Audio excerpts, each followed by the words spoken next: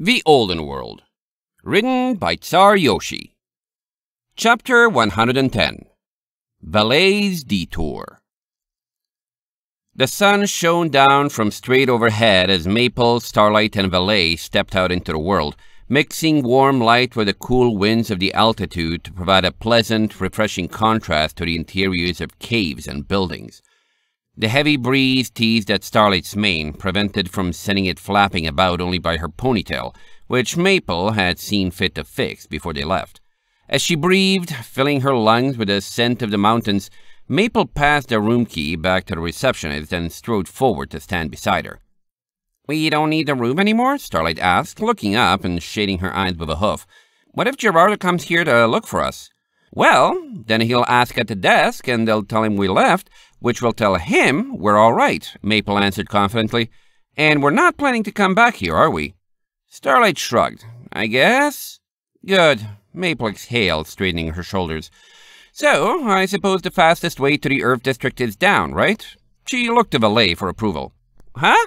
Valey blinked as if distracted. The Earth District? Oh, yeah, we'll get to that in a bit. Something else we gotta do first that's a little more important. This way, though. Follow me.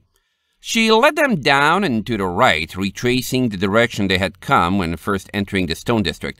The dam loomed ahead, gradually turning into a thinner and thinner vertical sliver as the angle they viewed it from narrowed with proximity. It was far easier going than on the way up, though still not completely free. Ponies possessed far forward centers of gravity that aided in climbing and running, but made face planting on downward slopes a constant fret.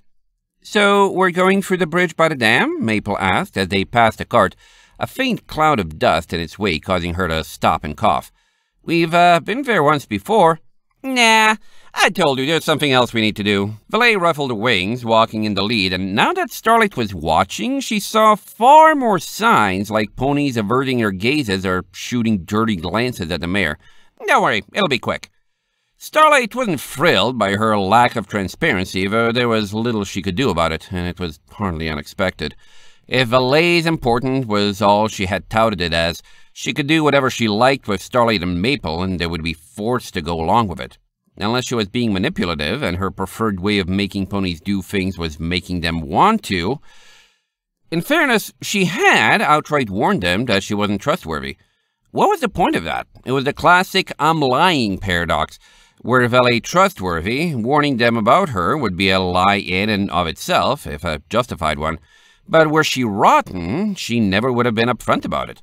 It felt like there were several easy explanations she was missing, but the logical side of her brain refused to drop the issue and let any others be considered. Then there was Herman.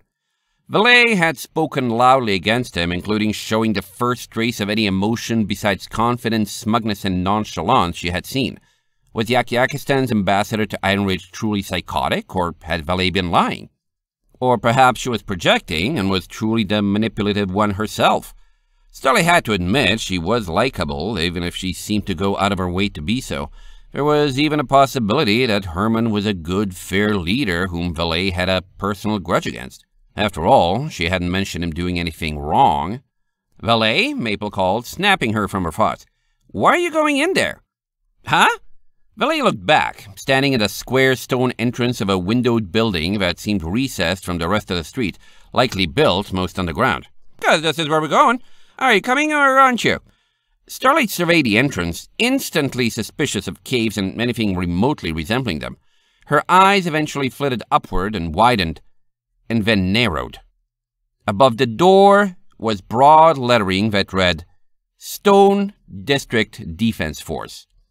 That's the place we just spent hours trapped in. Pretty much, Valey said with a grin. Stepping back out, she opened her eyes and her face straightened. Look, you're probably still spooked about last night and yada yada yada, which is why we're here. I'm gonna officially hire you guys and make you part of the defense force and do up the papers so you answer directly to me for everything.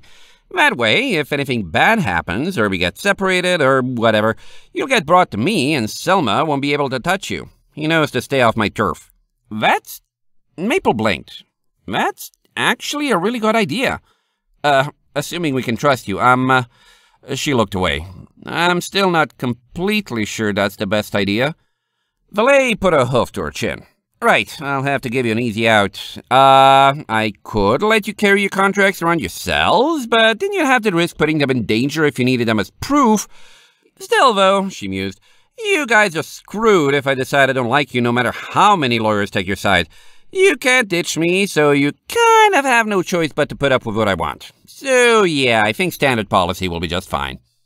Unfortunately, Valey was right, and the look in Maple's eyes told Starlight she knew it too. The Bat Pony was all over them, and with the skills and resources she supposedly possessed, very little could save them if she decided to actively be a traitor. There was no good course of action left, save for one, and that was to try their hardest to remain on good terms with her. Okay, Starlight responded. We'll do it. Please don't make this take long. All right, Maple agreed, still clearly unhappy at the sight of the entrance. I guess you're right. Sign us up. Just as long as we won't have to do any actual fighting work? Nah, of course not. Valey empathically shook her head, stretching her wings and brushing the sides of the door with her tips.